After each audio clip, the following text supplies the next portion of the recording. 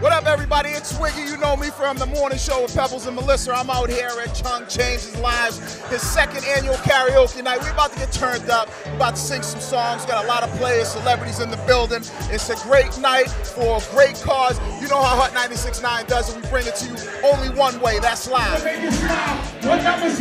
You gon' be here for a while. I'm gonna call my crew. The rendezvous at the bar two. Make sure you have radio dialed in and Melissa. We'll get you work every day.